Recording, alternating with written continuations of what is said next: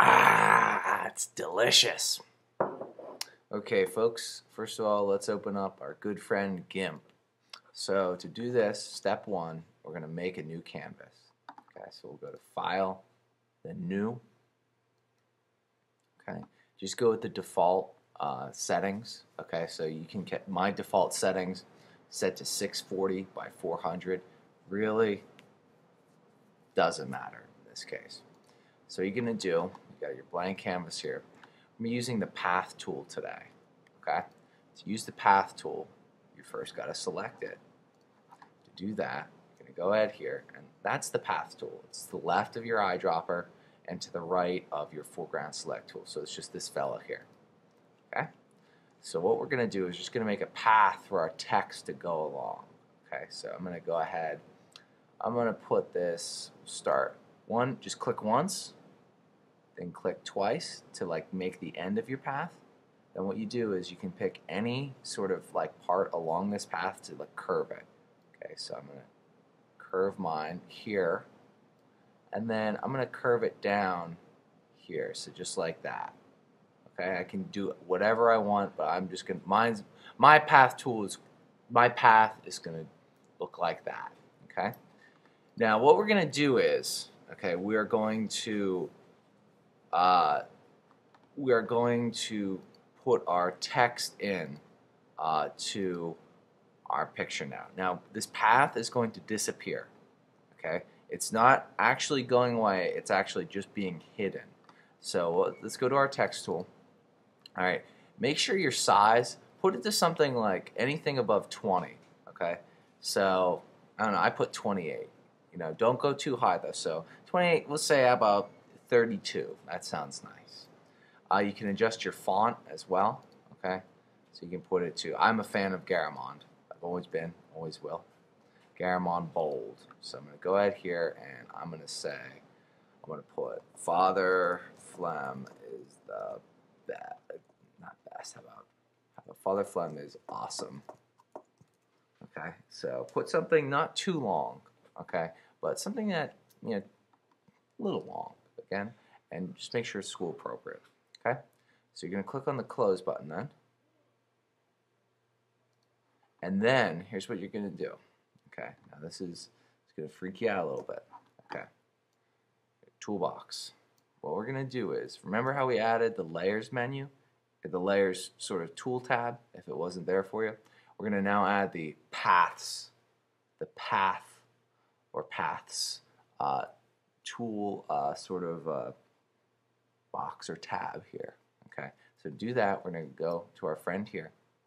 Okay, see on our toolbox. If yours is not there, okay, just double click on any tool. So, and it will, this will come up. Okay, so go here and go to Add tab. Okay, remember before we added layers. This time we're going to add paths. Okay, so then we got this path. Now that's that path we had drawn earlier. So let's first of all let's let's reveal it. Okay, you can see it there. That's our path tool again. So what we're going to do now is go back to our text and go to our tool options.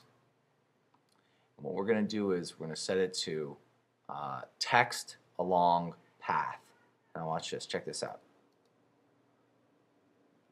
Bam, that just happened. What happens is it takes your text and it puts it along the path that you had set, okay?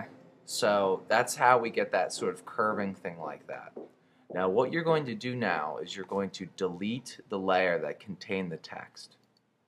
So let's go ahead to our layers menu and then what we do, okay, is we delete the text, okay, that layer there. From there, what we're going to do is we're going to go to, again, to our, path, again, not to our layers menu this time, but our paths menu, okay, our paths menu. And what's going to happen is, you see now we have another path. We have the text, okay, that's along the path. What we're going to do is make sure that's selected, okay, Make sure, I, right now you can see that's my text. Father Flem is awesome. what we're going to do then is we're going to click this button here. It's, gonna, it's called Path to Selection. Okay? So watch this. Let's click there. Now you can see the ants are going around, are going around our text. So that's good stuff. What we're going to do, okay, is we can actually get rid of all of our paths and all that other stuff. This is just like, remember, if you remember with the colorful text project, we had it where we did the alpha to selection, same deal here. So I'm going to delete the paths. I'm also going to uh, make sure I've only got one layer, okay? All right, now what I'm going to do, just like we did with our sort of text layer, with our colorful text lesson, go ahead here, let's add a new layer. Let's call it, um, let's call it again, let's go a little old school. Let's go to text. Just call it, just call it layer name text. Okay? Now, what we're going to do is, and you can make this any way you want it. I'm going to select a gradient. Okay? Double click on it. I'm to, I, I like, I, you know what? I'll admit it. I like the rainbow colors. We're going to go with the rainbow colors. They're awesome. Okay?